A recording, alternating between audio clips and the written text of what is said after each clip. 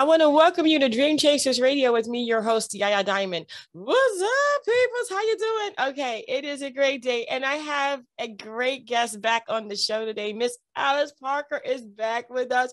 Woo! And I am so happy to have her back. We have her book, she's got it right next to her, as a matter of fact. I mean, she's got this book, man. And let me tell you, she's had this life that, yep, yep, that's it right there. Choices, changes, and friends life after the 70s of divorce. Let me tell you something. She's got these, these, these. I mean, I mean, she's just, I mean, how do I say this? The woman is adventurous. Ah. Okay. She's adventurous. She's done things that only people like you and I have thought, but we didn't do it. No. I have always said, and I taught my son, never boring. A creative mind is never bored. That's and you right. always try something new. Okay. Mm-hmm. Oh yeah, oh yeah, oh yeah. Wow, wow. So okay, so we need to go a little bit deeper into the book. We're not going to give the whole thing away, but I think we've we've kind of spiked some interest because people are saying stuff, and I'm like, okay, yeah, that woman is like, oh yeah, oh yeah, okay. So let's talk about your life and the book and how you know you wrote that book according to your life, which I mean was just just amazing, by the way. Okay. Well, I I want to say it was because the four of us had joined together to get our divorces about the same time and to support each other because as I said, we got zero support from mm-hmm. anyone else.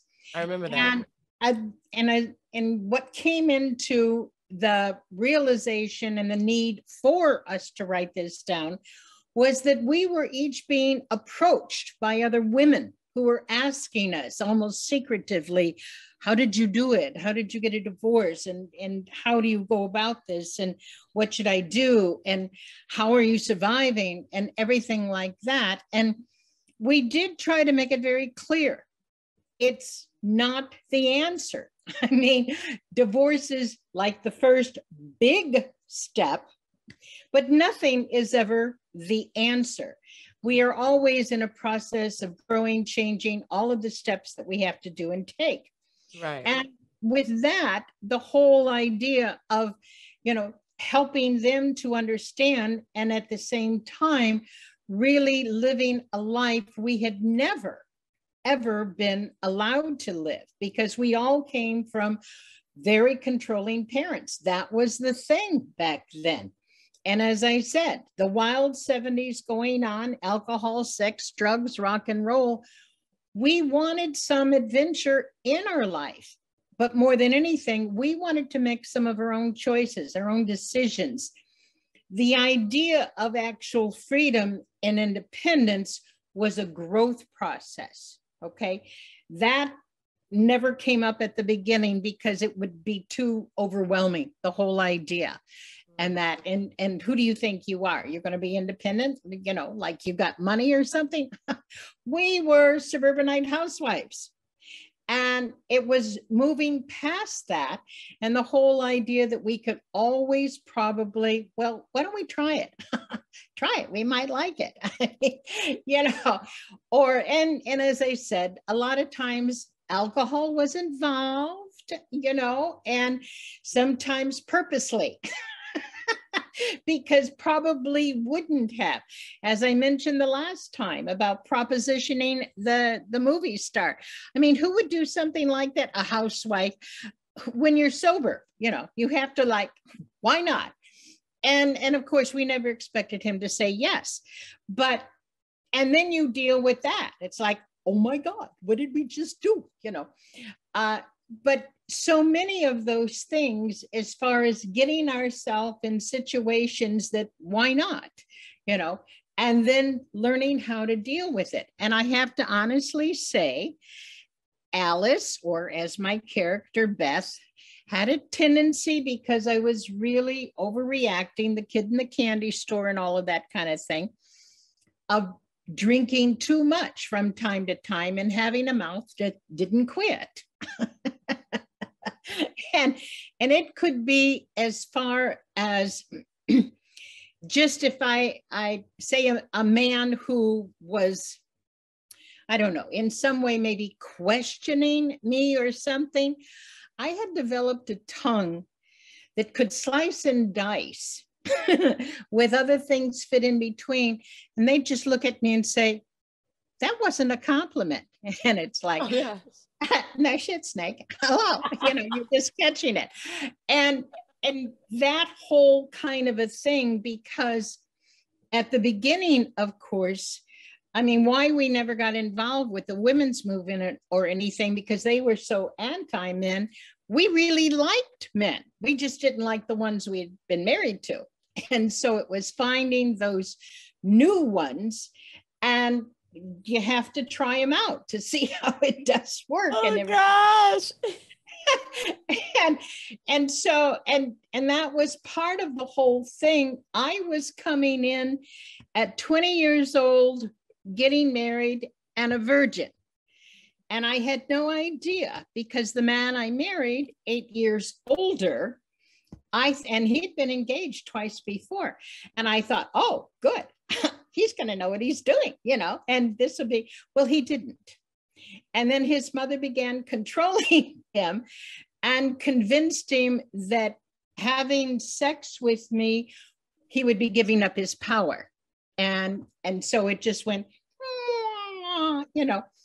And I was like, wait a minute, I'm just coming into my sexuality, and I have other men who are noticing me and paying attention, but he doesn't, you know, and it was when we were and i mentioned we had worked oh at oh the the first french french restaurant in the suburbs. So we had a really high clientele most of them from chicago. And and at the same time it was sort of you know these little french uniforms and you know all of the the stuff with the boobies and and short skirt and the frillies and all of that and it was there was no such a thing as sexual harassment as a statement. Right. It was simply, you could say, a way of life. Put mm-hmm. up with it. Don't you have a sense of humor? You know. And but at the same time, it was sometimes you did meet some interesting people, and especially since uh, the owner of the uh, the restaurant, as I had said, he was he would invite the the bears or the the uh, Blackhawks whenever they were in town on on their Sundays to come in and a big treat for dinner. And the two of us, Connie and I, were always chosen to be their server because we were the most shapely, and of course, we would put up with a lot of it, you know. But it did give us a chance to, shall I say, build a repertoire. and and with that not only verbally but of course you know in other ways and and then having um a dance bar that was at the far end of the parking lot. It was, you know, we would take customers over there all the time or meet men there all the time. And the music, as I said before, was so, so very important to us and having that time of really freedom in dancing and just going for it and of course you know and great friends with all the bartenders we usually drank free yeah like oh yeah. Yeah you know. And uh, so it would be those kind of things. It was just like the the night that um, connie got all upset at the owner of the bar because he had uh, he had told some people that we came and we just practically drinking out of all of his booze. You might as well put a straw in a, a, a, bottle and give it to us. And she was just, she was really ticked because we'd never really caused scenes. Well, not big scenes, you know, I mean, okay. scenes, big scenes, you know. but so she, she said, we're going to get back at him. So she'd set up with one of our favorite bartenders, you know, bottle of scotch. She had taught me to drink scotch. I had to get off the vodka because I was bad enough on the scotch, but on the vodka, I was really, you know. um, and some of those stories, it's like, wow. Okay. Anyway, so we were going to, it was Sunday night, which was ladies' night which always brought out more men. And they always had a live band. So, woo, you know. And we decided we were going to drink a quart of scotch in two hours. A quart and, of scotch? Yes. Yes, getting now. This was supposed to be. I mean, yeah, yeah. This is how. Hmm, not it. You know, we're getting back at the owner by drinking a quart of scotch. Oh yeah. Uh huh. Good idea, right? Okay. so anyway, we're going along and the word is going down and everybody coming up and watching us and we're going through it and I'm good. Are you good? Yeah, I'm good. I'm doing good. Well, we did make the mistake of getting up to dance. because oh. as I said, music and dancing were mm-hmm, and of course the guys asking us were not too bad. Uh, and so we're getting up and we're dancing and dancing come back and starting and of course the whole thought about the alcohol is moving faster through the blood now had nothing to do with this you know. Okay. So we're doing okay for a while. How are you doing? Well okay. I come back from one dance and she had said to me now listen get yourself together. I don't want us to make fools out of yourself. I start laughing. Oh no. And i forget there is no back on the stool. And the la- next thing she knew, I'm on the floor. Oh no. and I fall like straight down. So I'm straddling the stool. Oh, perfect. Ladylike. I oh, mean, oh perfect. Gosh. Oh my gosh. So, wait, wait, wait. Miss Parker, hold on a second. Can't even do what I was supposed to do. Guys, we'll be right back with Miss Alice Parker. oh my gosh. After this break.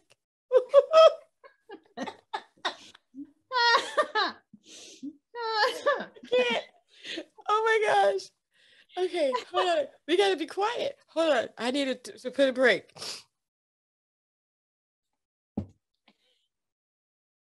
Okay, okay, here we go. Okay. Welcome back to the show. Okay. I need like handkerchiefs. make uh, Miss Parker, go. Just go. Just we're back. Let Miss Alice Parker. Okay. So three guys help me back up on this stool, and I'm like, oh, oh, thank you. You know, and I, it's like, oh, can we help you home? You know. Anyway, we finished the bottle. We had a roll of quarters for the bartender because they like to play the games. So that was kind of our thing for them and everything. And the the owner came over and profusely apologizing. I will never ever say, you know, and we're like, mm, whatever. So I was too wasted, but of course, Connie was only half wasted. So decided she would drive my car home. So, okay, so we do that. My house is the closest to the restaurant. So, and we're going, you know, curb to oh, curb. no. Yeah, but we get in the driveway, okay, and then it it's like four concrete steps up to my old little cottage style house, you know, to the little porch, and and we're and we're laughing. Just we cannot stop laughing and everything. So I'm digging in my purse trying to get my key now, inside the house is my little miniature poodle who is going absolutely ape shit because somebody's invading the house, you know, and that certainly doesn't seem like me. And then she has to start with her own jokes What's wrong? You can't find here. Let me help you find it. So she starts digging in my in, out, you know, blah blah blah. And then I finally get the key, and I, then I'm trying to get in in the door, and then she starts on with one joke. At, ha, ha, I already said you couldn't find the hole. Ha ha, you know, and going on and on, and and I'm really, you know, so okay, fine, you do it. So I step to the side now my little porch only has front railings. It didn't have any on the side. So I'm standing on the side and now she's trying to get the key in the door and she can't do it. So I'm laughing and I'm laughing and I'm not realizing I'm stepping back I fall back into the bushes. Okay. Spread eagle. My purse, which was still open, flings all over the bushes and right down. And then she realizes and turns and goes, Oh my God. She runs to, to the edge of the porch. Are you dead? Talk to me. Are you alive? Uh, what's going on? What's happening? Yeah, yeah. And this goes up and falls right on top of me. And I, oh, well, if I wasn't, I am now, you know. and about this time, my very nice older lady neighbor next door oh, no. comes on, and I think, oh, what? Keep it down, keep it down, keep it down. Now she manages to crawl back up on the porch. I am getting out of my coat, which I leave there, and start climbing around. My pantyhose get tangled in the bushes. And so they're gone. And I'm crawling around and coming back up the stairs. And I get up the stairs. She still doesn't have the door open, but the key is in. We have bumped into the mailbox holder several times. So now it's kind of all cockeyed to the side. And we're still laughing hysterically. I fall into her. She falls into the door and it pops open. oh my gosh and my poor dog is going nuts over both of us. And uh, being a typical drunk, I mean, how they would act, I know how to get to my bedroom. And it's sort of like Connie sort of knows the, the little bedroom where my, my son usually sleeps, but of course he's gone for that weekend. And and she's trying to anyway. I go and I just hit the bed and you know out. So in the morning. oh no. again. Oh no. My little dog is just barking and barking and barking and barking. And she usually would bark at the mailman, but I thought, what is he doing? What's taking so long? You know, and I managed to get out of bed. And then, of course, I have to go straight to the bathroom, you know, my God. And I come into the living room and it just looks you know things are all t- the television is off the table and and i can see where she pulled a, a, a, a cover from the one of the big couches and and she's gone into my son and she's flopped over on on the that bed and i open up the door and i'm looking and like oh my god and the mailman is just kind of looking back over his shoulder and starts walking faster, you know. Get away from you. and I'm just like, oh my God. The fact that he didn't call the police was kind of amazing because clothes were everywhere, including the pantyhose. And I, you know, and I'm like, oh wait a minute. God. Wait a minute, wait a minute, wait, what, what do you mean clothes are everywhere? You mean outside the house?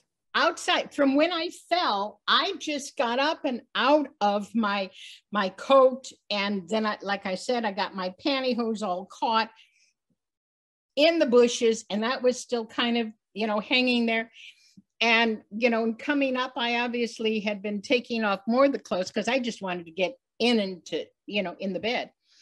And, uh, and I'm laughing hysterically. So I go in, I wake up Connie, and of course she's half dead and i no no no you got to come you got to come look at this because otherwise you'll think that i i set it up or something you got to see what we did last night so she drags herself out and she's wrapped herself around the throat cover and um and i've got on a, a, a bathrobe i'd thrown on and we go out and she was like oh my god and looking at this unbelievable mess out there. And I'd looked over the side, and of course, contents of my purse and everything were scattered everywhere and all that.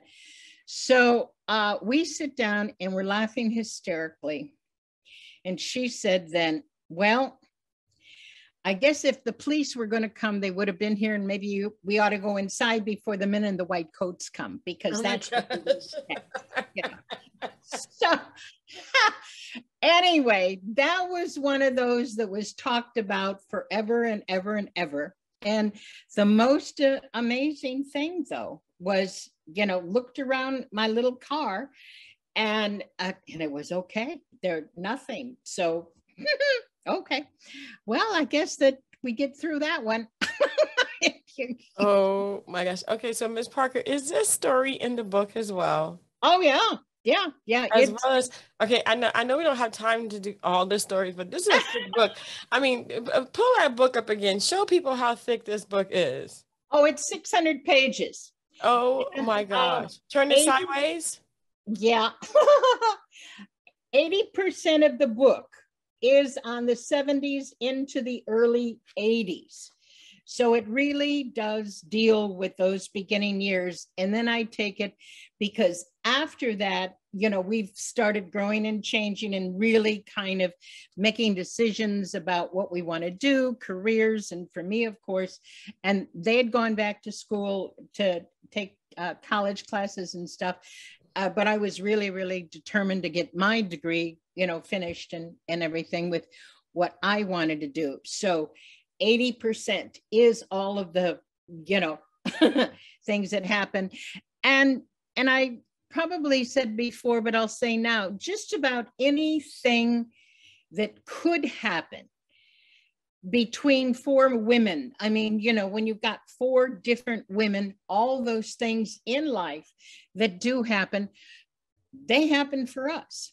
I mean, you know, from the good, the bad, and in between type of situations. And even after I left, um, which was uh, five years after the divorce, when I was, I knew I had to physically move, not only to get away from my mother, who is still driving me crazy, but uh, but also to get away from the drinking and to get away from our well why don't we do that? Why don't we you know just kind of i knew i need it was the only way i was going to be able to more focus on my career and what i wanted to do even though that was still kind of nebulous as far as what do you really want to be when you grow up little girl you know right wow. so but uh so there's there's a lot of those crazies um it's it's kind of and how you know, building and getting stronger. And as I said, when we hit that point of really understanding the importance of freedom, of independence, and we could do this. You know, we could do this. It was mm-hmm. something that, you know, and it didn't mean we had to be rich and famous or anything like that. But we were also looking at those other women and constantly trying to remind them, hey, you don't have to put up with that crapola, you know? And that whole idea, no, it's not easy, but it's worth it. Right. And that's that's the whole point. And I think you know too, Yaya, there's still so many women, particularly who do not understand their worth. Right and whether they've been put down from uh, you know the parental thing or whether it was the husband or or what the situation was and just like i was talking last time about a woman deserves you know to have a good sexual relationship i was going to talk about that for a second yeah. because you know yeah I mean, that's kind of taboo. A lot of people don't talk about that, but you you are a very open book. Literally, you wrote a book yeah. and people can open it. I mean, yeah. and it's like, I mean, you said you were married very young, and yes. then his mom kind of interfered with your marriage. And I then said that uh, his umbilical cord was still fully attached. Oh my that, gosh. Yeah, yeah. Wow. Yeah. And so after that, I mean, and even today let's let's talk about today let's talk about today yeah. because you know we i think we touched on this last time even i don't know if we were on camera or not but we talked about being older and still yeah. having a sex drive i mean we're not dead yet no not no, no not at all not what at do all. you say about that i mean i know it's taboo but miss alice parker no, no. i'm gonna i'm gonna i'm gonna put you out there i'm gonna say yeah. that you are my sex guru right now and and I think that that's why I want to talk about it because it should not be taboo because a woman has a right. And that's a right not only to say no, but a right to say, you know, could we try ba ba ba ba ba ba, you know, or uh, I would really like you to do, you know, and this is where not only getting a man who is open, but if he can't think of it himself or he doesn't have that kind of experience, unfortunately, even the older ones, you know, you mm-hmm. think that they'd know by now. uh, it, it, it's like, I mean, uh, you know, we can thank Oprah for bringing out the whole talk on orgasm. Oh, goodness. you know, and because it was almost like a dirty word.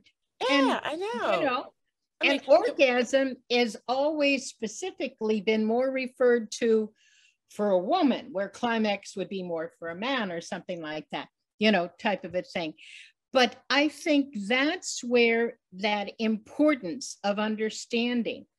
And if you do have a problem, as far as, you know, Mm, I don't know if I I feel comfortable or or mother always told me that was dirty or nasty or whatever the words were, mm-hmm. you know, that there are a lot of um, you know, psychologists who can help you as far as go back to what it was.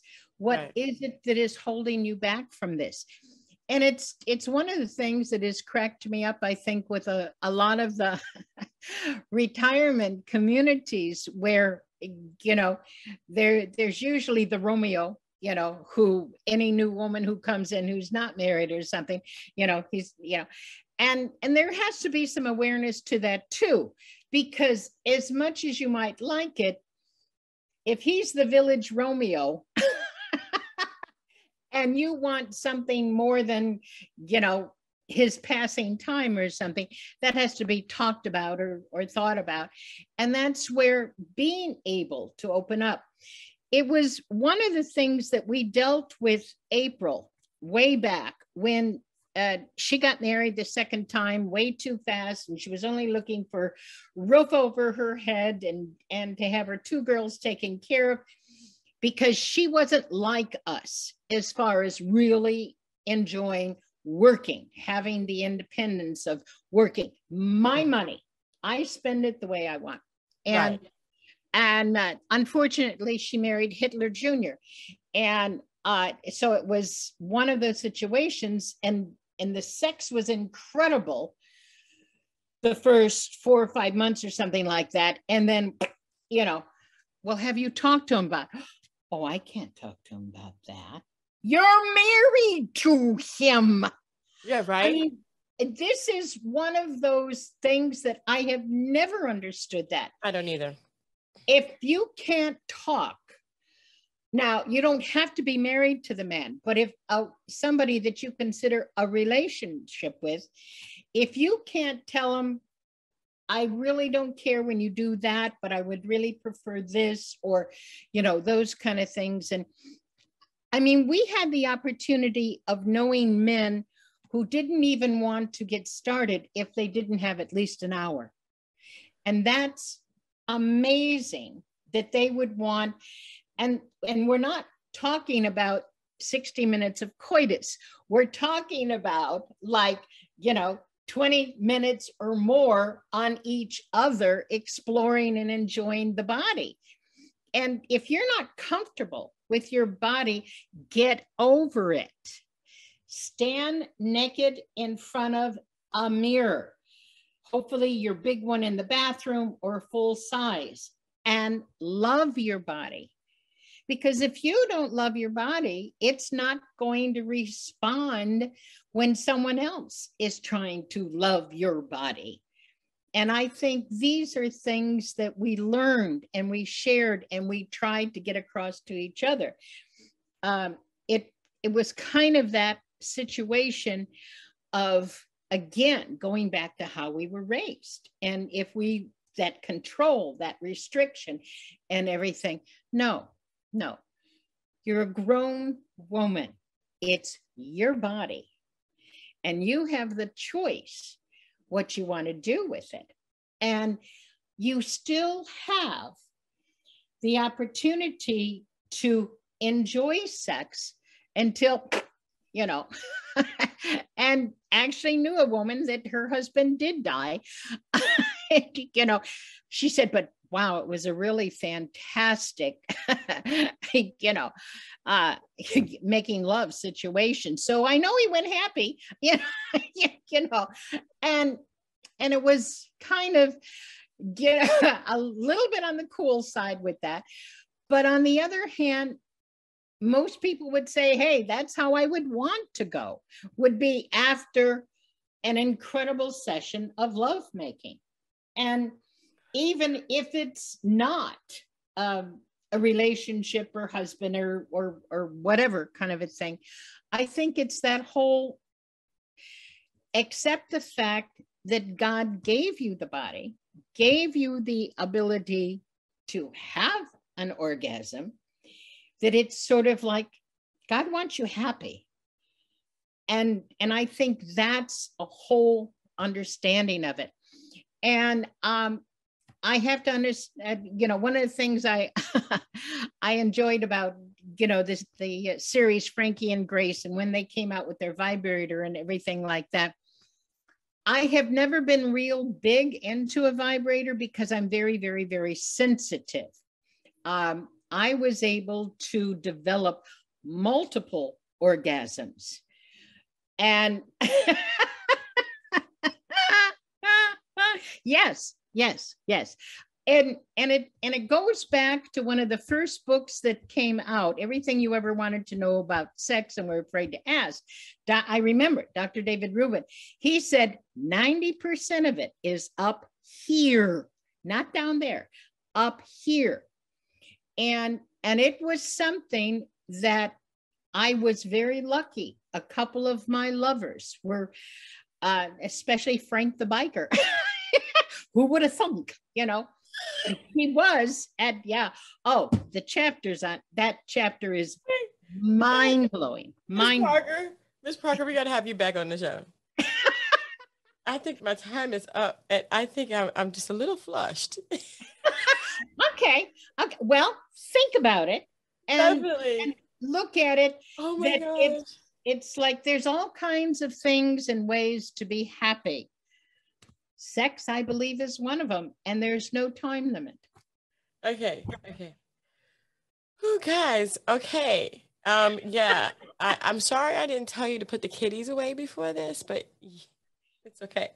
Um, Ms. Parker, thank you so much for being on. Okay, so we're gonna have all of your information, but tell everybody where they can find your book really quick, because okay. I am telling you, Ms. Parker, and, and, this is the reason why I love having Miss Parker on the show. She has no like how they say hair on her tongue.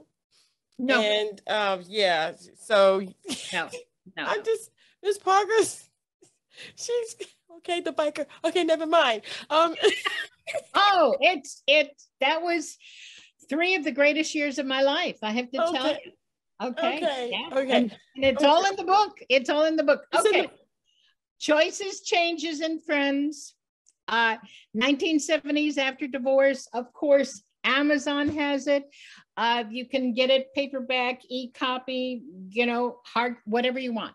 They have that, and um, and it it's something that uh, and and I have to put the plug in too. My scripts are being evaluated. I should be hearing in a couple of weeks, so that would be a good time to come back about it being made into a streaming TV series. I am going to be the first one to be like sitting behind my TV with the camera over my shoulder watching it because I'm not going to be able to resist because and I'm going to be like one of the first people that interviews you. Okay, I am honored and definitely oh, we're going to yeah. have to have you back on the show. We're going to have to talk about the one thing that most people don't want to talk about.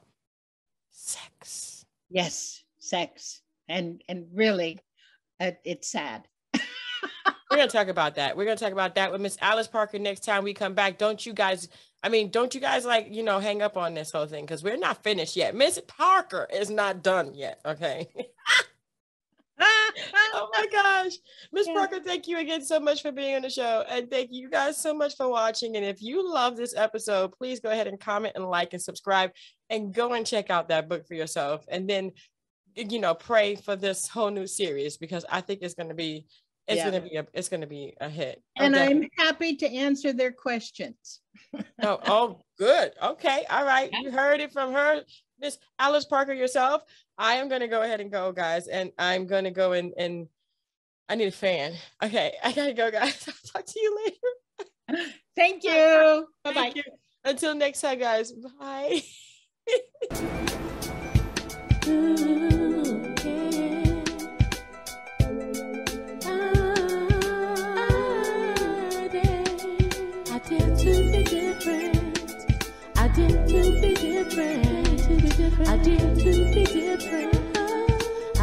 Different. I